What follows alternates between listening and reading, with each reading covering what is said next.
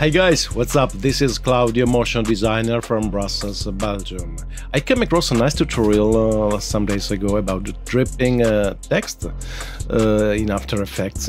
So I decided to do my own version, how you can uh, create a dripping effect on some shapes in After Effects without the use of any external plugin, just one single effect. So let's jump into After Effects and see how this is done. Okay, first of all we create a new composition in After Effects, so we can uh, select the dimensions and frame rate that we like, uh, no problem for that. Hit OK, we have an empty composition. With that we select the rectangle tool and we trace a new rectangle. We hit Shift to make it square, if you like, and then we uh, rotate it a little bit like that and we place it like that. Now we have our bucket and we can add a, an effect to make the dripping, the dripping effect. So the effect is named uh, CC Smear. So let's uh, get it from the effects and presets list. Let's drop it over the shape. And you see that there are four parameters that we can play with. So the first one is the from, and this is where we want our animation to start. So it's, we can place it more or less like that. Then we have the to, which is where we want our animation to end. In this case, I will drop it down here, just below the composition.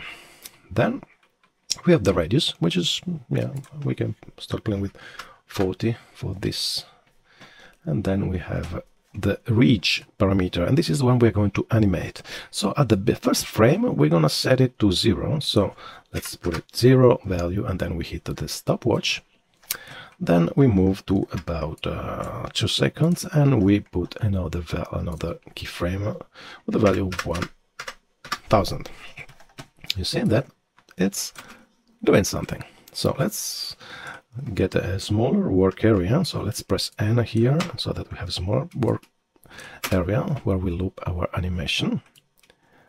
You see that is a little bit too too quick. Huh? So what we are going to do is to uh, play with the keyframes. So let's hit U to get our keyframe.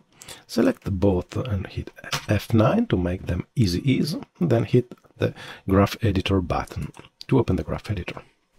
So let's zoom a little bit like that. And then we can play with our keyframes and with our curves. So put something with this form, more or less so that it starts slowly and then it goes down and then yep we have it. So I think that the, the to position is not really perpendicular not on the same x. Yeah 204 okay. And this is our dripping effect. Of course you can play with the um, from and to and reach and radius. Uh, uh, for instance you have uh, you see what what's going on when if you put a wider radius the uh, dripping effect needs yeah for the tuning but yeah it gets a wider area. So we maybe want to keep it small.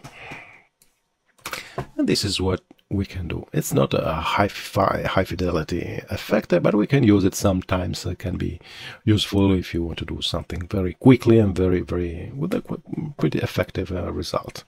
So I hope you enjoyed today's tutorial. Thank you to um, the channel where I got this uh, uh, idea. I'm going to put the link below in the description, of course. And uh, yeah, if you want to see more tutorial like this one, consider subscribing to my channel. It's going to help me a lot. I have a lot of tutorials about After Effects and data uh, visualization and animations also. So thank you very much uh, and see you in the next tutorial. Have a nice day. Bye.